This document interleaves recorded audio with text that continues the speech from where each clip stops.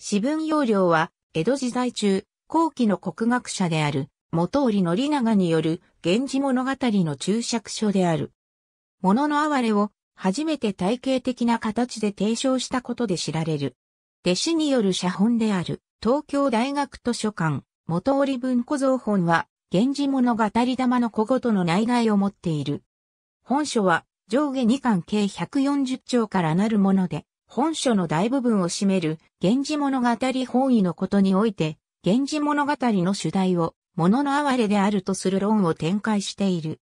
同時期に成立したとされるか論、石上四宿ことと共に乗長の、物の哀れ文学館の成立を示すものである。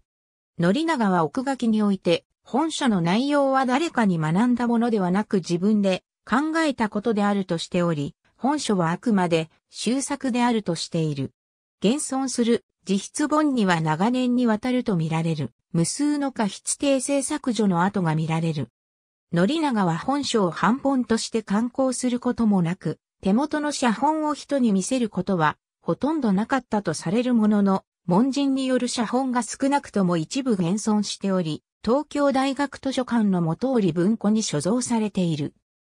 元織のり長はほぼ全生涯にわたって、源氏物語に深い関心を寄せ続けており、20歳頃のものと思われる、源氏物語の語尺を取りまとめた、源氏物語覚書きをはじめ、源氏物語に関する著作も多いが、則長が34歳の時に完成した本書は、則長による最初のまとまった源氏物語論であるにもかかわらず、長年の考察の末68歳になってまとめられた源氏物語玉の小串と比べても論旨が変わる部分はほとんどない。本書の奥書きによれば、本書は法暦13年6月7日に学校したものであり、同年5月25日の鴨の間淵との対面後本格的に古事記や万葉集の研究を始める前に、それまで言ってきた源氏物語研究に一区切りつけてその成果をまとめたものであるとされる。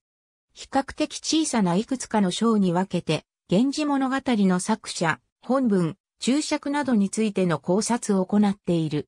この部分は、安藤貞明の紫や七論による部分が多いが、則長独自の考察も多く含まれている。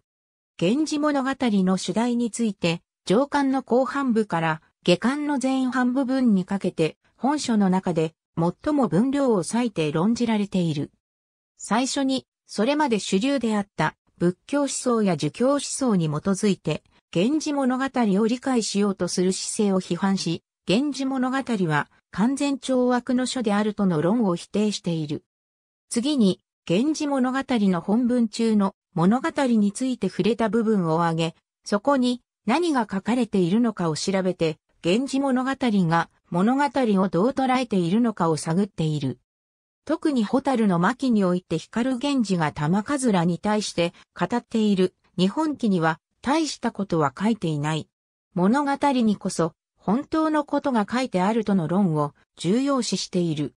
これについては虚構の設定の中で本当に主張したいことを述べようとしているとして、鈴木秀夫などが主張する物語虚構論につながるものであるとの見解もある。そのような考察の結果、源氏物語の本意を物の哀れであるとしている。本書、私文要領は、存在、署名、おおよその内容については、則長の生前から弟子や関係者の間では、ある程度は知られていたとみられるものの、漢本として出版されることはなかったために、則長が認めた完成形が存在しない。